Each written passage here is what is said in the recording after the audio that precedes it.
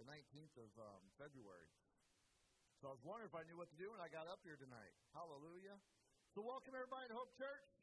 Glad you found your way here tonight. Glad to, for those who are watching online, thank you for tuning in. Um, if you haven't visited us before, there's a card in front of you. You can fill that out for us. I'd love to know that you joined us tonight. For those online, you're going to be able to see a link dropped in the chat box just to say, hey, let us know you joined us tonight. I'm excited for tonight. I'm excited for this whole weekend. Um, this is actually surprisingly a lot of pastors dread these weekends because we do the services and it's long weekends, and it's like I wanted this to be a celebration for us. I don't dread being up here. I don't dread preaching on a on a Friday night because the purpose of why we're here. We're here to celebrate. We're here to celebrate his death and his resurrection. But we're here to celebrate also and understand why he did this for us. So again, we'll see you guys at 10:30 on Sunday. Amen. Everybody say 10:30? Sunday. And one other announcement, because you'll see a text go out. The entrance over here to the east of us is open. So all the entrances along here will be open during this next Sunday, and eventually they'll be shutting down the lower one. So um, you'll, you can come in any of the entrances. Amen? I don't know what we're amen about with that, but it sounded good to say. hey, turn with me in your Bibles to Mark chapter 14. As I as I was reading through this and, and hearing what God spoke in service tonight, uh, I was I wonder at times it's like okay on special services like this on Good Friday it's like am I uh, am I giving the right thing God? If, am I am I really giving the right message that you want me to give? And tonight I was kind of wondering that like this because it deals with the res, it deals with the death on the cross but it really doesn't in a sense.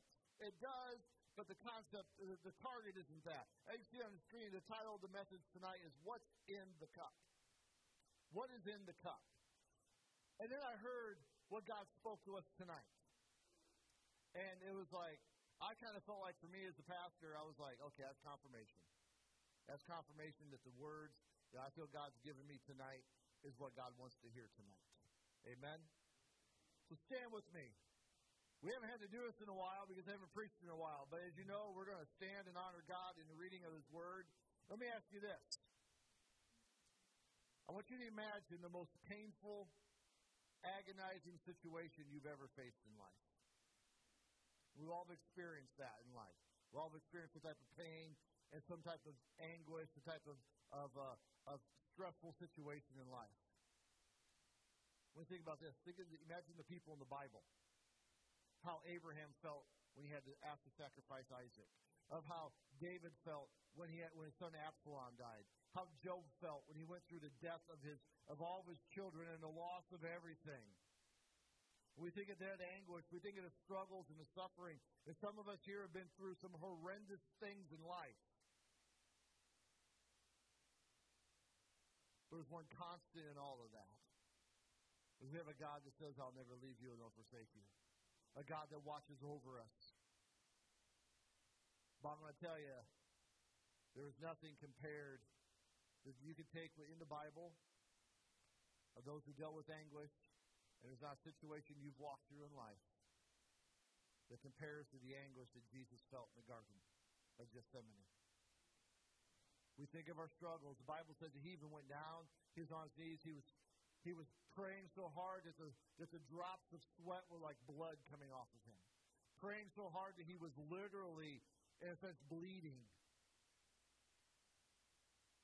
but he had to experience that stress. He had to experience that agony. He had to experience that pain.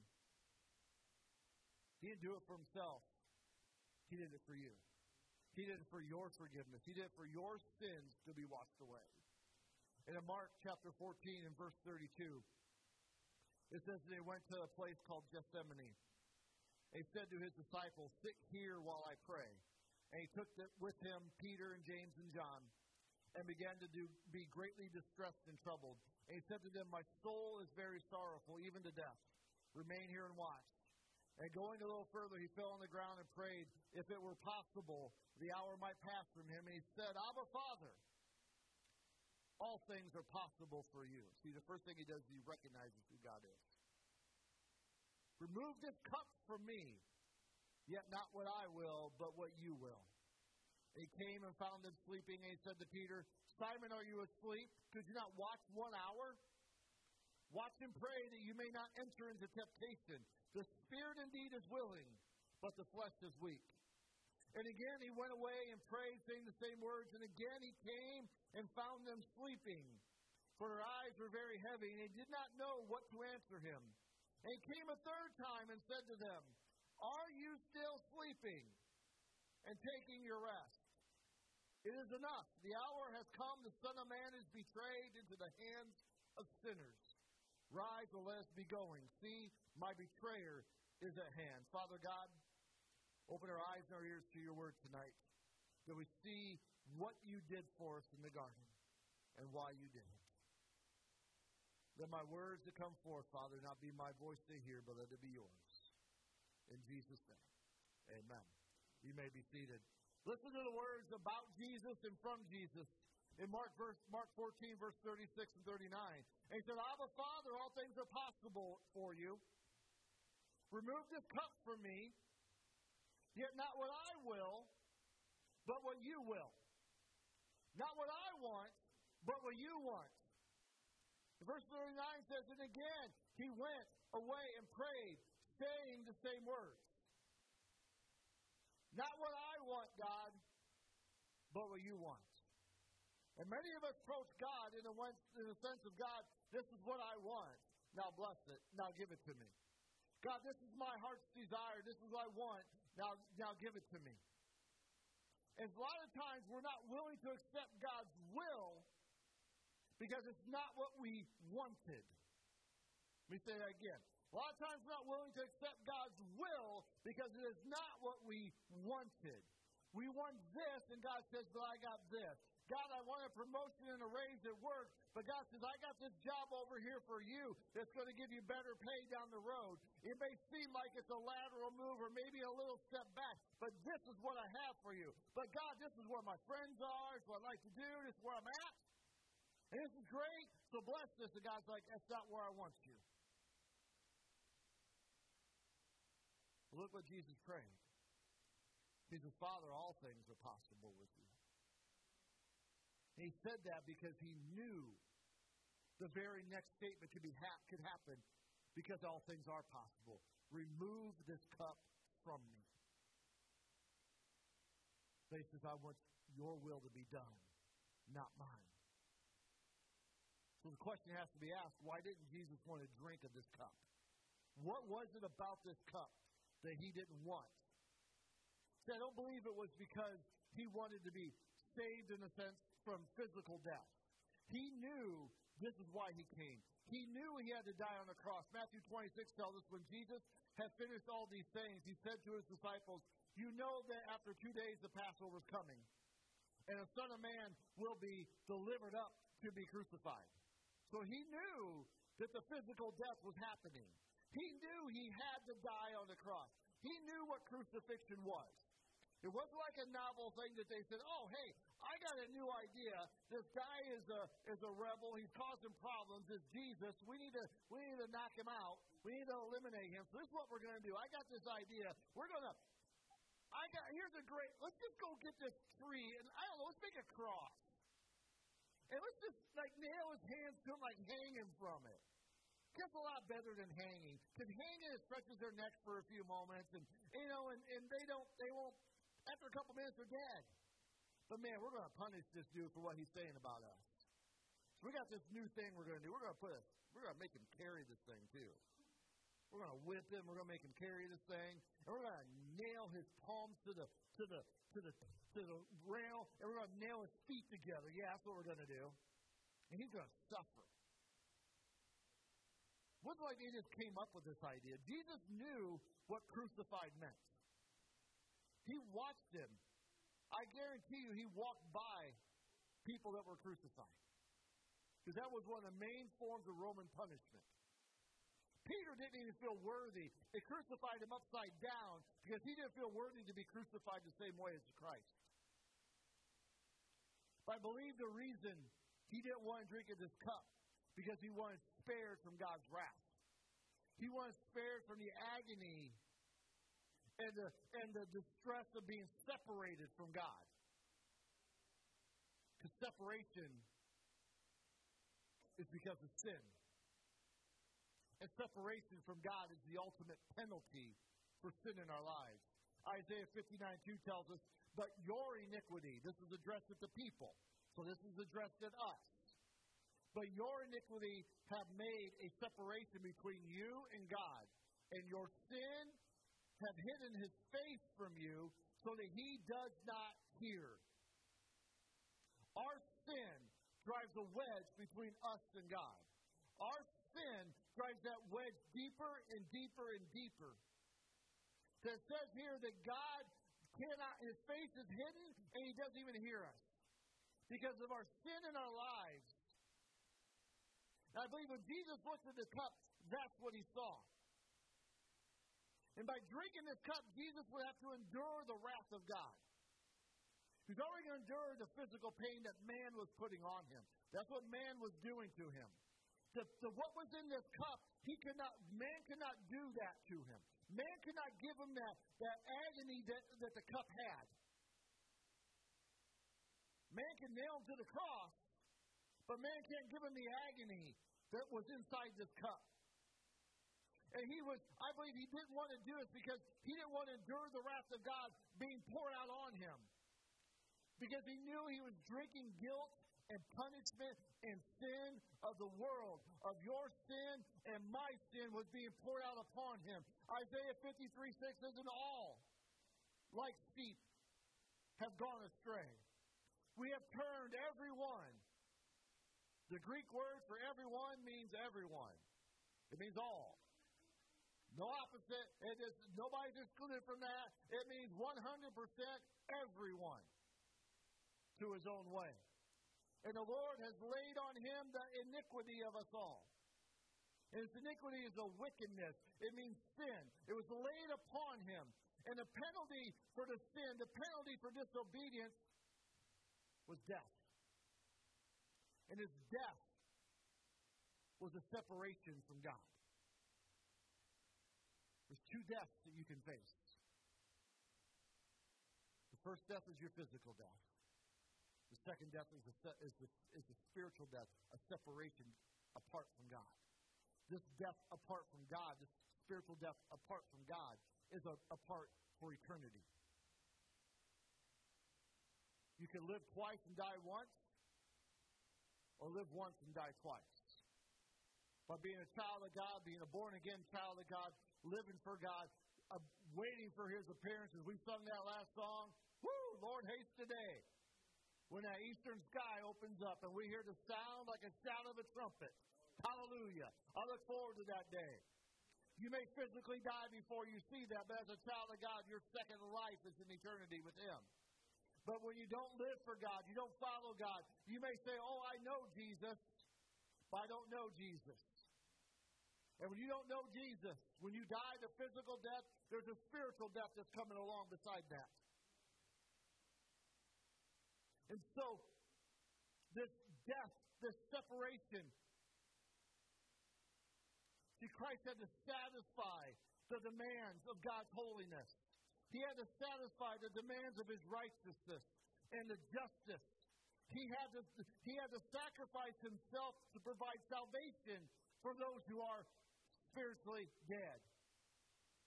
And he had to do it to experience the same thing that you and I will be experiencing. Christ knew the physical death was the, was the, would be accepted as a full payment. But it was that spiritual aspect of death, that complete separation from the Father. I believe that's what that's what troubled him the most. That's why I say, oh, I don't want to do this. I can handle this. I don't want this.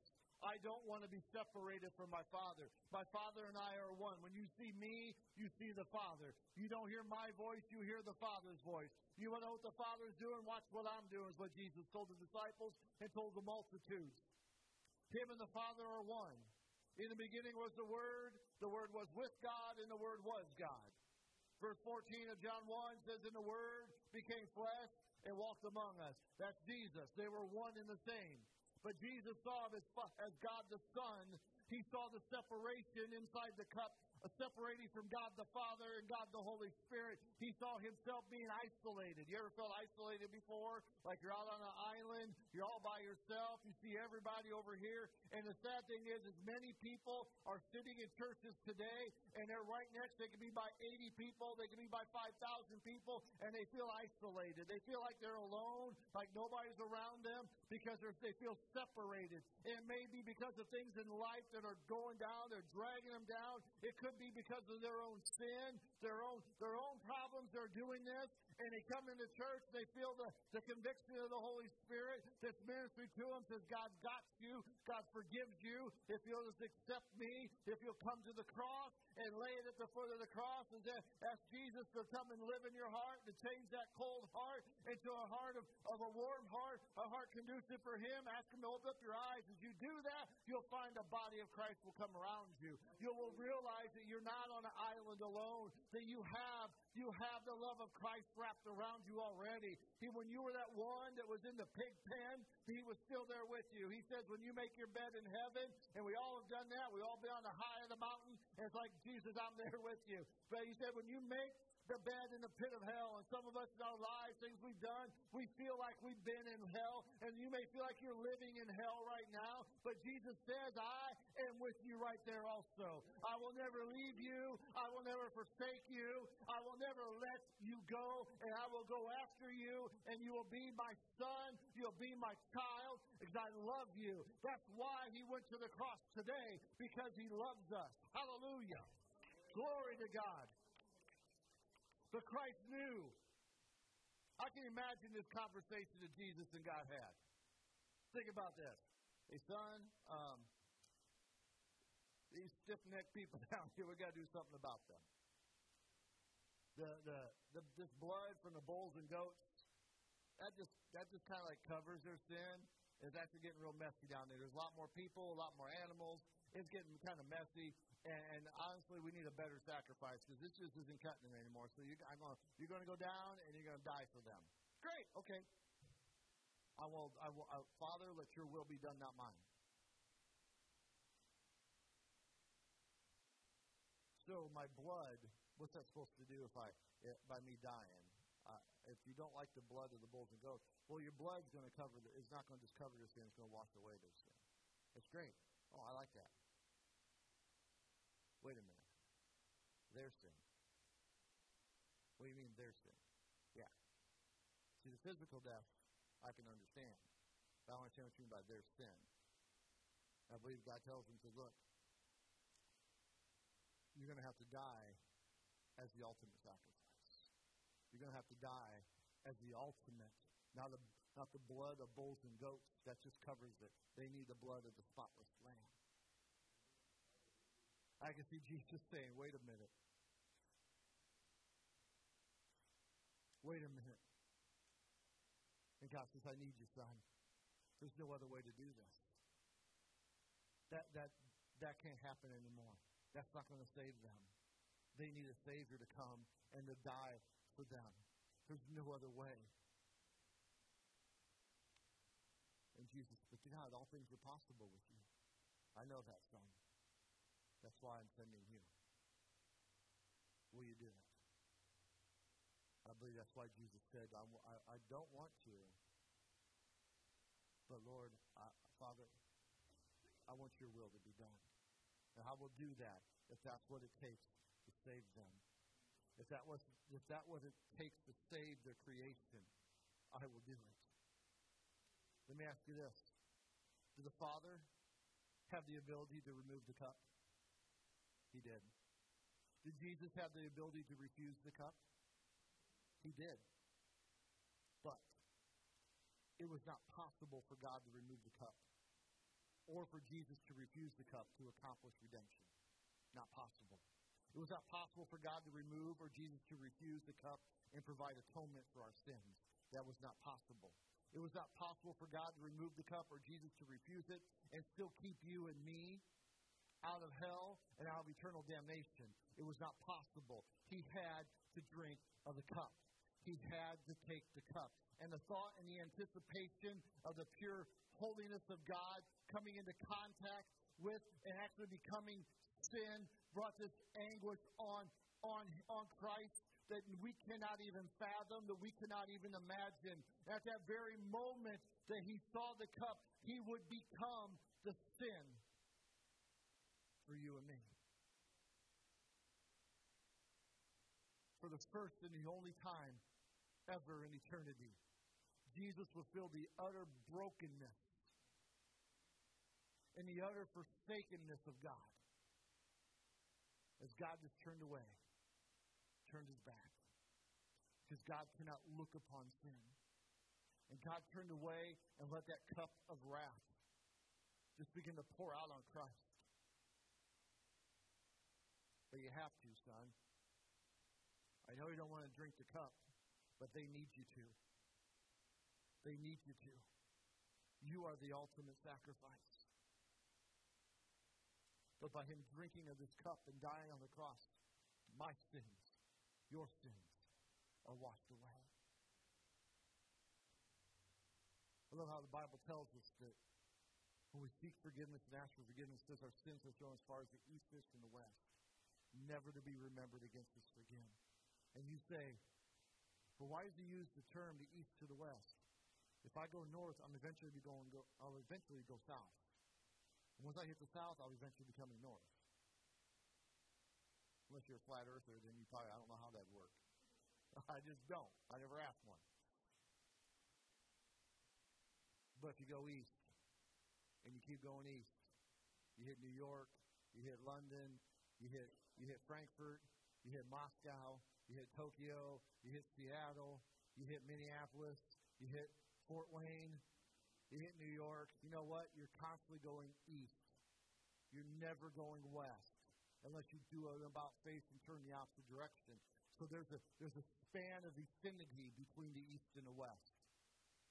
he says, Your sins are thrown that far, never to be remembered against you again. Thank you, Jesus.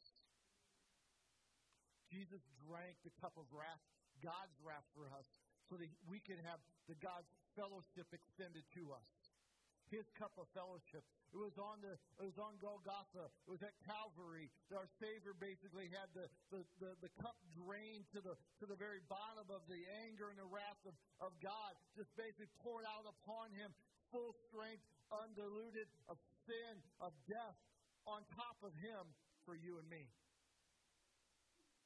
Said in 1 John 2 2, He is the propitiation of our sins and not for ours only, but also for the sins of the whole world. What does he mean by that? Jesus had a crown of thorns on his head, right? They took that thing, they jammed it in.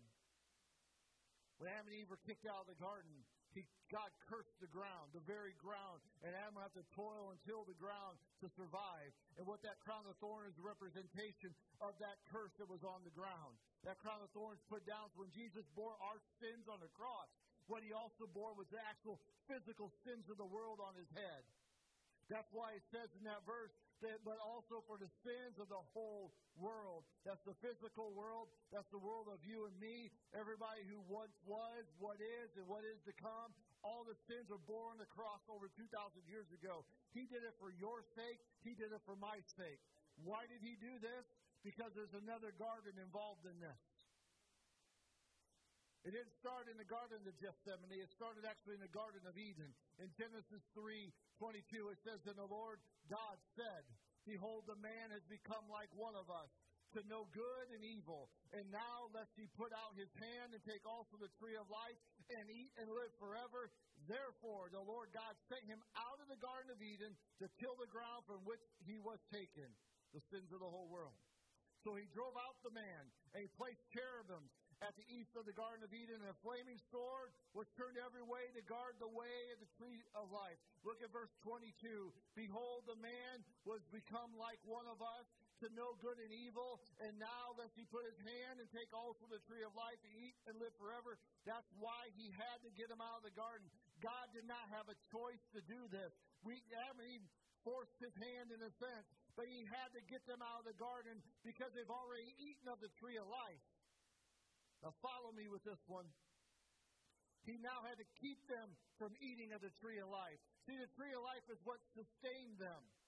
And it may seem like a punishment that they were kicked out of the garden, But this was not the main reason. The main reason was one, because God loved them, but two, was for their protection. And why is that? Because now they have eaten from the tree of knowledge of good and evil. And because they ate of the tree of knowledge of good and evil, it broke them. Sin had entered in. Disobedience entered in. And eating of this tree of the knowledge of good and evil broke them. They were perfect. They were whole. They were innocent. They were the perfect creation of God. Yes, they'd eaten from the tree of life before, but that's what sustained them to have the life that they had. But because they ate of the tree of, of knowledge of good and evil, they are now broken. They now know what sin is, and for God to protect them, God removed them so they would not eat of the tree of life again. And they couldn't eat it because they, after eating the fruit of the tree of knowledge of good and evil first, if they ate of the tree of life next, they would live in that broken state forever because that's what the tree of life did. It sustained life for them. But they, now that they've eaten of the tree of knowledge of good and evil, they're broken. And if you eat of the tree of life after that, you remain broken. And you will remain broken while you eat that. And that's why God says, I got to do it. I got to remove them. That's why God says it's going to be for their protection. It's got to be for them that we do this. And what God was saying to them was that before you make this bad thing permanent, I got to fix for you. I got to get you out of here to protect you. But in the midst of this, God already had a plan in place. Hallelujah. He had a plan that was going to fix the solution. Long before Adam was created and placed on this earth, long before he sinned in the garden, long before Calvary's work was ever accomplished undo the damage of sin, long before Jesus Christ ever became a man, God had a lamb, a lamb that was slain from the foundations of the world. He had a lamb that was ready for you. He had a lamb that was set aside, a lamb that would take away the sins of the world. He had to do that for them because he did it for us and he had to remove them because he didn't want them broken again. He said, I can't have you living in the state of brokenness. So I'm going to give you a lamb that's going to be slaughtered, that's led to the slaughter. He's going to be nailed to the cross for your sins, for the remittance of your sins. His blood was shed for you, for your forgiveness. Hallelujah.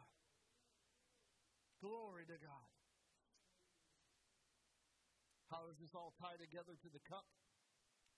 Good question. This is how I view the cup that Jesus is holding. This is how I look at what he has in your hands.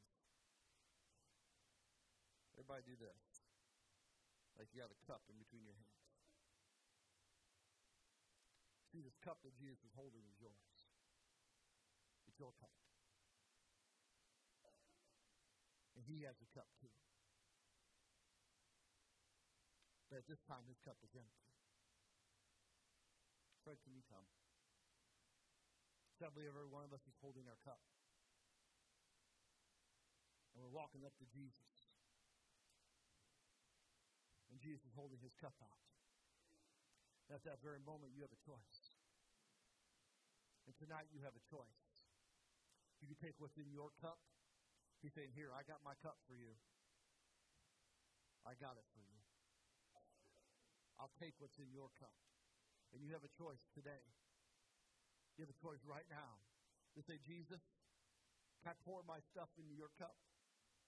Can I pour my hardships, my brokenness into your cup? And Jesus says, My cup's right here. The thing about Jesus' cup, is bottomless. It can hold mine, it can hold yours, it can hold every person who ever was and is and is to come. His cup is bottomless. The thing is, though, you have to be willing to empty your cup into His.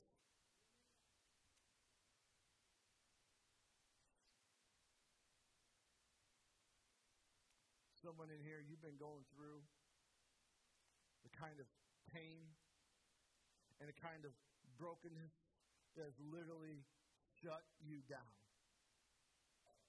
That old saying that you can't even see bottom looking up. It has limited your ability to even respond to any struggle you've been going through. It has literally brought you down to your knees. It has broken you. I'm not talking about down to your knees to pray. I'm talking about it's just so heavy, the weight of the world, the weight of the situation, the weight of life has just got you so down, so broken, you literally just fall to your knees because you can't carry that weight anymore. It's got you so upset on the inside that you don't even know how to tell the person that says, How can I pray for you? You don't even know how to articulate it to them. You don't even know how to tell them what's going on in your life. It's got you so down, you so broken, and all you do is just sometimes just stand there. As we sing, you just stand there. As we pray, you just stand there. You don't even know how to articulate your feelings to God because it's got you so weighed down. It's got you so hurting. It's got you so broken. And everywhere you turn, there's pain, there's rejection, there's suffering. And all you see is discouragement. All you see is, I'm a failure. You see their shame. You see your guilt. In fact, you're seeing loneliness. You're seeing depression. And I could go on to whatever, everything else you are seeing inside of your cup. Only you know what's in there. And you look back on life, and all you do is see life is filling that cup up more and more. Stand with me across the place. Are you tired of drinking this cup? Are you tired of even holding on to this cup? Some of you are holding on to your cup because you don't even know how to set it down. You don't even know how to let it go. And you're just holding on to that thing because you don't know what else to do because you have held on to it for so long. You don't even know how to let go of it because you don't know what life would be like without that. You've dealt with your pain, your hardships, your struggles so long you don't even understand what life is without any of that.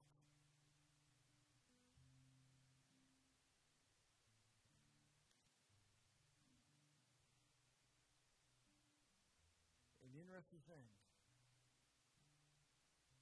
It's not those who don't follow Christ that feel that way. It's the Christian that feels that way as well. Because the enemy's got you beat, beat down. The saying that he can't stop you from being a Christian, but man, he'll make you a miserable one. He'll do everything he can to beat you down, to fill you full of depression and anxiety, to break you he wants to break you, the enemy does. Break you so bad that you just leave. You give up on God. So I can see Jesus right now. His hand stretched out. We pour it in. We pour in your struggles. We pour in your hardships. We pour in your brokenness. We pour in your depression, your anxiety, your loneliness, your distress, your despair, Will you pour in everything that weighs you down, the burdens and the struggles of life? He's saying, Will you pour it in? Will you let go of your cup? Your cup is His now. And He's saying, You pour it in, and I'll drink this brokenness. I'll drink this sin. I'll drink this guilt. I'll drink this despair. I will do it so you can be made whole. So you can be set free. So you know what it's like to be forgiven for who the Son has set free, you are free indeed. And he doesn't have to be, it's not just the unbeliever, the non follower of Jesus. It's the Christian who's bound and tied up. And we're not, sometimes we get, because of our position in church or who we are or how long we've been a Christian, we don't want to admit that we're struggling. We don't want to admit we got hardships. We don't want to admit it because it shows a weakness in us. But you know what? The enemy already got you feeling weak. Jesus knows you feel weak. He says, But come unto me, all you are burdened and heavy laden. He says, I will give you rest. He says, Take my yoke upon you, for my yoke is easy and my burden's light. He says, I will take up that burden for you. I will carry that for you. But it takes you to pour it into his cup. It takes you to hand him your cup. It takes you to say, Jesus, I ain't doing this anymore. I'm tired. When are you going to be done with being done? When are you're going to be done with life beating you up and say, Well, I wish I had a better life. Like I said earlier, you're so used to your situation, you don't know what it's like without that situation. That's for the believer in there, too. Not believer and believer. You're so used to the junk, so used to the drama and the hardship. It's like, when it's not there, it's like, you don't know what to do. It's like the lady who prayed for her husband to come to know Jesus, and as soon as he come to know Jesus, she got upset and mad because she didn't know what to pray for anymore. God already did what she asked for. Said rejoice, she got mad. I don't know what else to pray for. We got to get to the point in our lives that we got to say, Jesus, this is yours. I'm done with this. I'm tired of this. Every eye closed around this place. Please bow our heads. Let me ask this question here. Are you done with being done? Are you done with holding that cup? Are you done? Because Jesus is asking you that. His arms are outstretched towards you, holding his cup, saying, Pour it in, son. Pour it in, daughter. Pour it in, my child. Pour it into my cup, and I'll take it for you. So you don't have to go through this anymore. I'm telling you, when you will do that, there'll be a joy that will come over you like you never believed.